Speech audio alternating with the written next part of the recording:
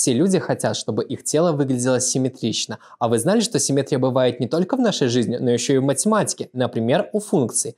А что это значит и почему это действительно так, вы узнаете в нашем видео. Я Владислав, это учебный центр Интенсив Курс. Подписывайтесь на наш канал, ставьте колокольчик и изучаем. Пусть у нас с вами дана функция y равно f от x, и мы с вами знаем, как выглядит ее график на координатной плоскости.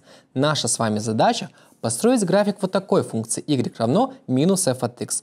То есть минус стоит перед всей правой частью первоначальной функции. Как в этом случае нам построить график, зная график первоначальной функции?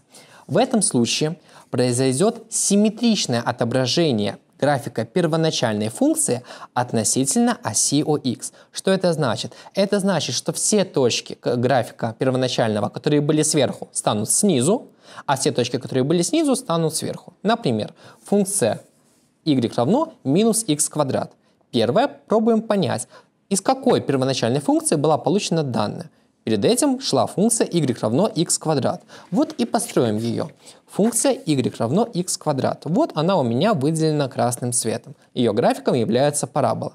Теперь мы строим y равно минус x квадрат. Что происходит? График первоначальной функции симметрично отображается относительно оси ОХ. Так как весь график находится выше, то он весь будет, соответственно, ниже.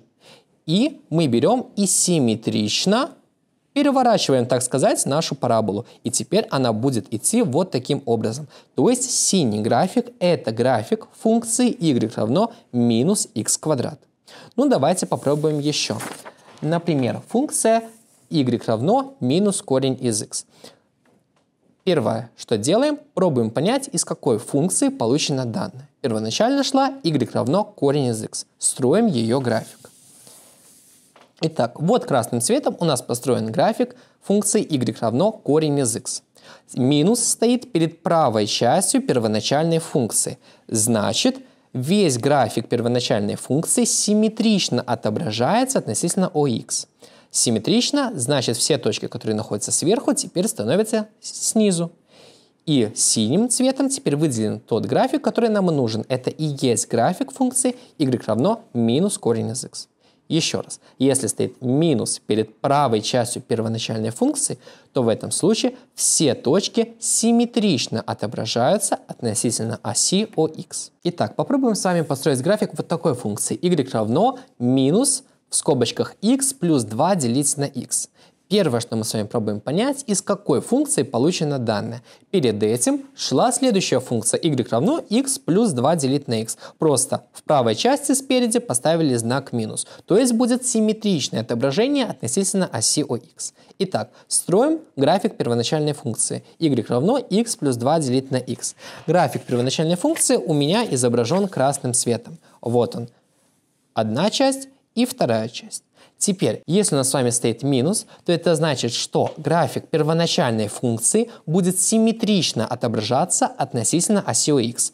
То есть вот эта часть была сверху, симметрично она пойдет вниз. И вот синяя часть. Это уже часть нового графика, вот этого, которого нам нужно было. Вот эта вот часть первоначального графика идет снизу красным цветом, симметрично отображается, соответственно, вверх. И мы получаем вторую часть того графика, который нам нужно было получить, графика первоначальной функции. Что ж, давайте теперь попробуем разобраться в следующем. Если нужно построить график функции y равно модуль f от x, то как в этом случае мы с вами будем поступать? Давайте будем разбираться на конкретном примере. Вот у нас с вами есть функция y равно модуль x квадрат плюс 4x. Сначала пробуем понять, из какой функции была получена данная. Ну, очевидно, что нужно просто убрать модуль. Тогда мы получим первоначальную функцию y равно x квадрат плюс 4x. И, собственно, построим ее. Если мы ее построим, то получим вот такой вот график, собственно, парабола. Итак, что мы теперь с вами делаем? Что делает преобразование модуль? Модуль берет и все точки, которые находятся снизу относительно оси x, они симметрично отображаются вверх. То есть вся вот эта вот часть пойдет вот так вот вверх. А та часть, которая перевернулась, та, которая была снизу, она просто пропадает. Еще раз. вся часть вот эта вот, которая находится снизу относительно оси OX, мы ее переворачиваем вверх, и она снизу пропадает. Таким образом, мы с вами получаем вот такой вот график. Вот мы с вами видим, что вот этот вот бугорок, который находился снизу, он отразился вверх, а снизу уже ничего нету. Это график функции y равно модуль x квадрат плюс 4x. То есть преобразование модуль, все точки, которые снизу симметрично отображают вверх, и при этом снизу они уже пропадают. Давайте попробуем построить еще один график. Y равно модуль 6 делить на x. Итак, первое, что мы с вами пробуем понять, это первоначальная функция. Какая была? Для этого просто убираем модуль. Значит, первоначальная функция y равно 6 делить на x. Теперь строим график данной первоначальной функции. График будет выглядеть вот таким вот образом. Получаем с вами гиперболу. Теперь, что делает модуль? Все точки, которые находятся снизу относительно ОХ, мы их симметрично отображаем вверх. Значит, вот эта вот ветка гиперболы симметрично отобразится вверх и пойдет вот таким образом.